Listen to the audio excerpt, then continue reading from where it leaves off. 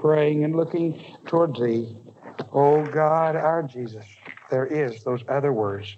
As we have therefore opportunity, let us do good unto all men, especially unto them who are of the household of faith. What a rich reward, what a rich harvest awaits us all. Help us, O Lord, to wait in contentment on Thee because contentment is the spirit of summer. Contentment is the product of accepting both the negative and the positive in the field of God's will and labor. We pray today that Thou might speak to our hearts. In Christ's name, Amen. Amen. Is it a hymn or is it the youth choir? Or what is the song? You were playing that when we came in. Thank you, Sally. Great is thy faithfulness. Praise God. Great is thy faithfulness. She was playing this when we walked in today. In the middle of the sermon, something happened to me that's happened to me in every sermon I preach to you on these windows. God has used me in a conversational tone of voice. Very seldom in these sermons have I really been, you know, used the fire in my voice like it happens sometimes. But in the middle of the sermon, like in creation, spring, in summer, and now in autumn, there was such inner delight. About the time you got out, there was such inner delight. But I, I, felt that way last week. It was such, yeah, because summer, God really spoke to you. There was such inner delight and joy till I wanted to come down and say, folks, look at me. Can't you tell what's happening to me? Dear ones, can't you tell that's not always in a loud voice that the joy is expressed? Right here it says sometimes silence is praise. This morning the anointing was so wonderful and God was working so preciously through this sermon till I wanted to alert you. I wanted to cry out. I wanted to get the gong and ring it, but He wouldn't let me do it. I'd think of it, He'd say no. And so I just have to tell you, I'm in a place of great joy. My sermon was spoken with joy this morning. Lord touches my heart when Amen. I start to tell you something. Amen. Praise the Lord. You know, Danny came down the helicopter the other day. Oh, yeah. Well, they didn't know where the church was. Yes, sir. Yes, sir. So they were trying to find the, During, during uh, we received a telephone call through my mother and, and uh, Danny Oaks, this precious man of God over here with his precious wife. He had radioed in by telephone, airphone, through the man who was with him. His company's thinking about buying a, a new type of helicopter, which is very nice, and said, We'll be there in 10 minutes. Mother calls in, said, There's a helicopter going to land with Danny Oaks in 10 minutes. I thought, Gracious. You, you never know what's going to drop out of the skies. And so I tell you, we hurried out like eager little children. There we were all out there. And one of the, Rita brought her class out. We wish we'd have had them all out. Brought her class. I think all of them got to see him take off. And in came this beautiful helicopter. Yes. Well, they were trying to find the building. I, I'm trying to get this right, Danny. But he told me over here a while ago that he seemed to see the light. Even he saw the light in Hex. He saw the light over this church, and he said when they, there was a cloud cover and they were trying to find it, and he said there was one spot in the sky where a shaft of light came through and it hit the church. And he said that's how they found it. They found it by, by a beautiful shaft of light. He wanted me to tell you when I said, Pastor, it just pow, it just hit my heart like that. You think of that. They found it, found it They by found a beautiful shaft of light. By the natural light of God, Yes. from the sun that shines Yes. through the clouds. Only it was a spiritual Yes. motivation, I think so. as it is always. I just want to say, by God's grace, to Bob and to Vaughn, the harvest is about due. You've persevered and you've wept, but for you there is a promise that you and I know about. I admire you for the tenacity of continuance. I admire you for the joy that you've had, even through the devil fighting and some touches of awful hell, not by your own choice, but for whatever reason. I want to tell you there's a harvest due. And I don't believe it's far away. I would have had it come five years ago. I would have had, because God promised perfect healing for your lovely wife. God's promised more than that for you both and for your beautiful children. But, dear ones, by God's grace, I have never doubted it since the promise came. Omar and Nancy, God's promised that for your family. I would never let go of it. There's a harvest time, my friend, and it'll seem on that day like you're in a dream. Remember, my friend, the Word of God is truth. And if each of you, each of you have been listening to the voice of God, see, He loves us all. There's a personal promise somewhere along the line. Don't you forget it. God's speaking to you. God's speaking to you. And it's true. It's true in truth. Ask Him for it, nothing doubting. Because it's a man that wavers that doesn't get into the harvest time. God cannot work with that kind of doubt. I just wanted to express that to you right now. This is a great, great song. Great is our faithfulness. What number is it, Pastor? 35. Number 35. Let's sing it as we close with joy. The harvest time of our souls.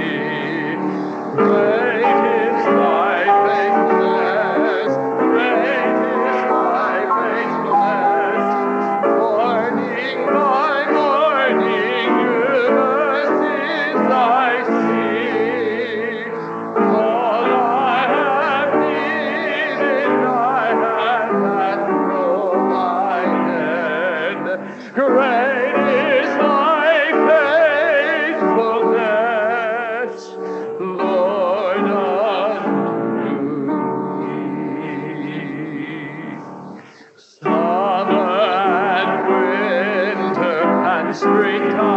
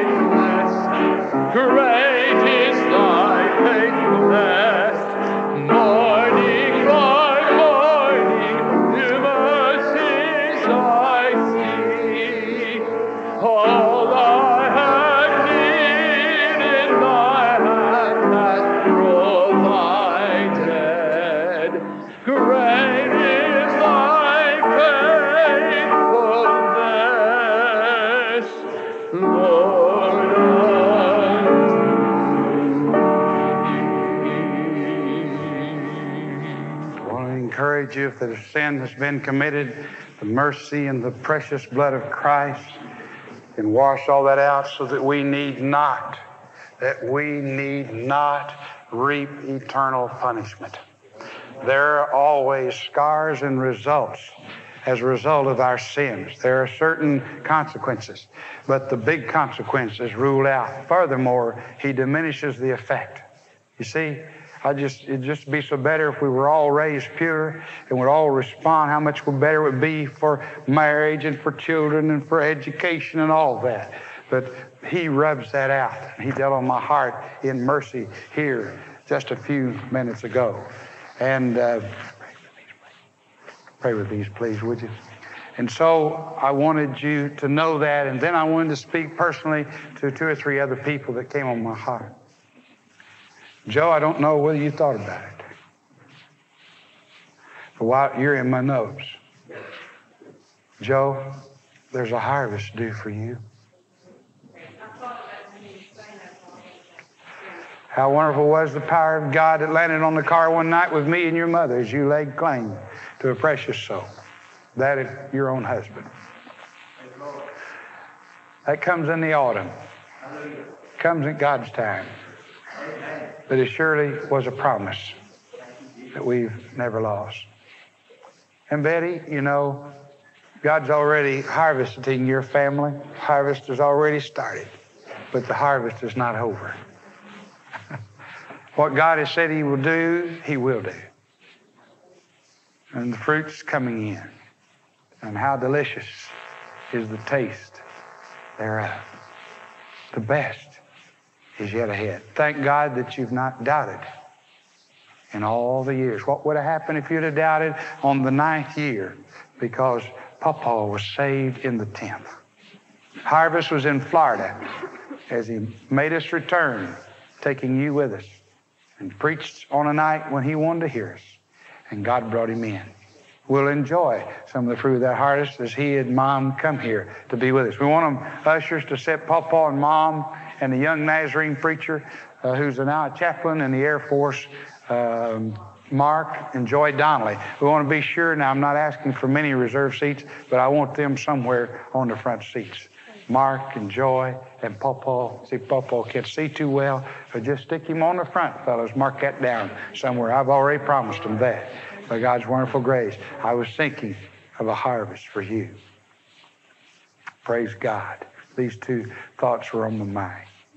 Praise the Lord. Is all hearts clear? I want to praise God for his faithfulness with you, Pam.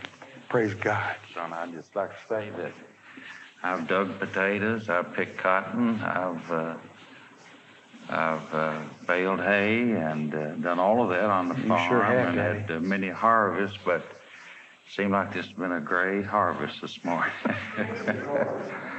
to sit and uh, and listen to your son preach and and do such a wonderful job, the anointing of the Holy Spirit and uh, and helping to feed our souls here. And uh, I, it, it has been a time of my life. Tears flooded my eyes, and I said, "Well, thank you, Jesus. All of the, all of the things that we've ever gone through, it's been worth it just to come here to this service this morning, and to hear the gospel brought through a heart of love, and and and see the reception of it. I, I can tell you, folk are enjoying it, and I believe God's got uh, more exciting things ahead of us. So uh, I know I'm somewhere over here in the in the harvest time, and uh, I don't know how soon the winter will come, but uh, let come what may, whether we live or whether we die, I'm the Lord. Amen. Praise the Lord. Next Sunday is Mother's Day, and I'm supposed to speak on winter. How in the world am I going to accomplish that? On a day so warm, I'm supposed to speak on winter. Well, we'll have to trust the Lord. But, folks, as far as I'm concerned, every window, every sermon has been a miracle. Every sermon has been a miracle. Every sermon. Every sermon has been a miracle of God. Because these preacher men all know, and lay preachers, lay preacher and layman, they all know that if somebody takes an assigned subject ahead of time, it can be one of the driest times ever trying to get anything together. And so we've trusted Jesus on the Beatitudes, and we've trusted Him on the windows, and now four are accomplished and there's one yet to go, and I'm rather excited about how am I going to talk on winter on Mother's Day. But Jesus knows I may have a little insight as to how that's going to be accomplished. By God's grace, I'm trusting. Just thought I'd point that out. I want you to come back tonight. And one of the things that I want you to hear is a letter that Guy Young has from an artist in Michigan. It is so precious, Guy. I believe, by God's grace, unless God gives us a trouble burden, Stephen, unless that, that we might be able to share that tonight. A little time, like at announcement time, but see, it's just so precious. I'd like for that to be shared. It's just, it's real insightful. If you want to know one, how one artist feels about us, opening up and loving them and, and getting ready to have a, ga- a gallery in that nice hall that's just been finished with that rug, you're going to find out that this artist says that anyone that loves the work of an artist loves that artist. And if you don't love the work of the artist, you're not showing love for the artist. And then I remember the psychological principle that art is an extension of the personality. And you cannot cut off love for that personality at any given point. You have to love the whole personality. And so it, it's just real precious. That's just a little nugget, guy, that you read to me last night. And we're so thankful for that. Praise the Lord. I trust the youth choir be singing tonight. Is there something they can sing on their feet where they are, Sally? Yeah, I see. I've had them on my heart. There's something they can sing on their feet, right where they are.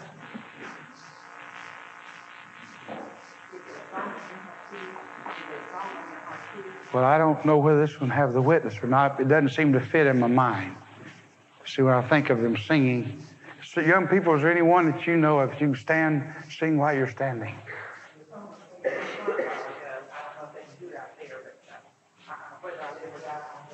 Oh, I've, oh my, oh Sally.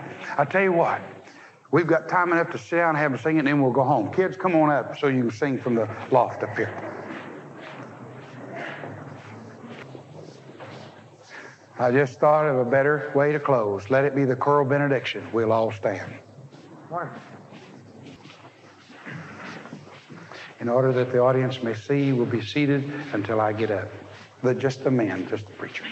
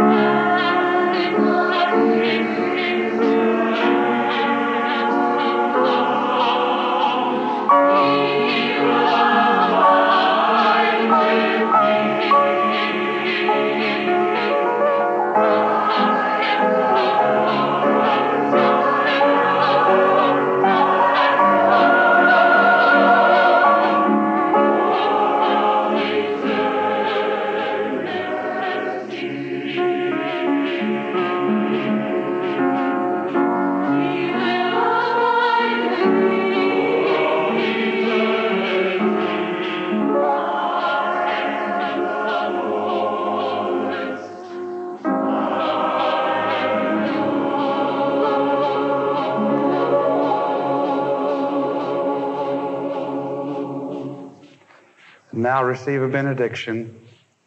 The Lord bless thee and keep thee. The Lord make his face shine upon thee and be gracious unto thee. The Lord lift up his countenance upon thee and give thee peace. Amen.